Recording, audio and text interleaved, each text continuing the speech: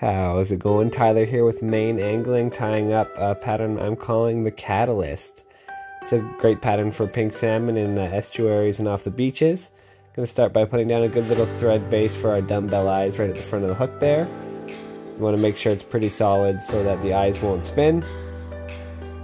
Apologies that the camera goes out of focus here, but uh, it's just a bunch of thread wraps. And you're going to wrap back to the back of the hook and tie in some pink crystal flash.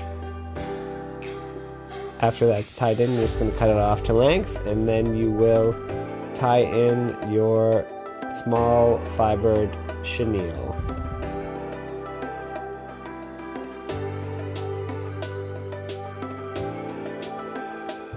Once that's tied in, you're just going to wrap it to the front of the hook. I like to leave my chenille on the card or in the bag, that way you don't have to try and guess the length and you won't waste any material going to wrap up towards the eyes and, and then do a figure eight around them, making sure uh, get even coverage and uh, make it a nice tight profile there. Then you can tie off at the front of the hook and all there's left to do is whip finish and you're good to go to hit the beaches. It's great because uh, it's a fairly expendable pattern for when you are uh, fishing the beaches. It's always good to have lots on hand. Hope you enjoy and tight lines.